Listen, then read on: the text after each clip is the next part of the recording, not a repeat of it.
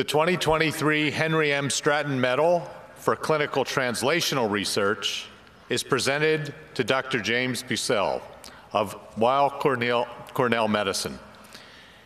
He is being recognized for his invaluable contributions to the development of agents that increase platelet counts in patients with immune thrombocytopenia and other conditions.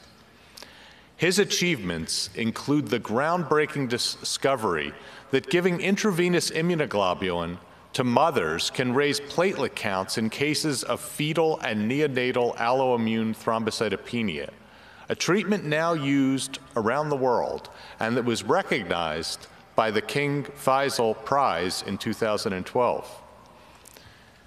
In the realm of ITP, Dr. Bussel has increased the understanding of how IVIG treatment prevents platelet destruction. His work has played a pivotal role in the development of many medications used to treat thrombocytopenic conditions, as recognized in the prescribing information for the three approved thrombopoietic agents. Congratulations, Dr. Bussel.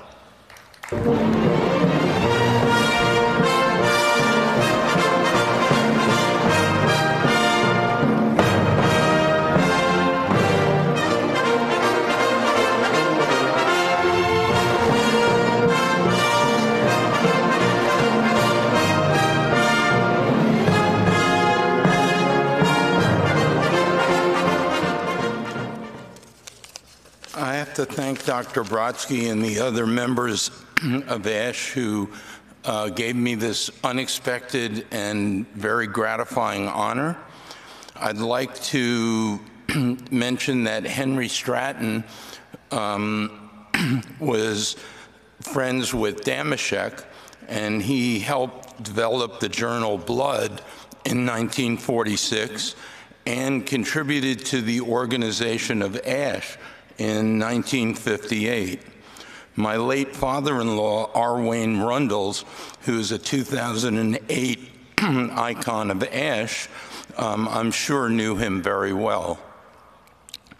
Um,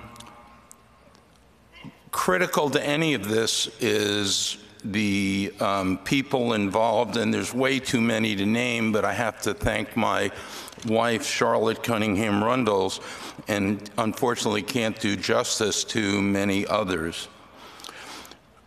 In thinking about what made me able to do the things I was able to do, other than the wonderful collaborations and help, one was to have a can-do attitude to make it happen.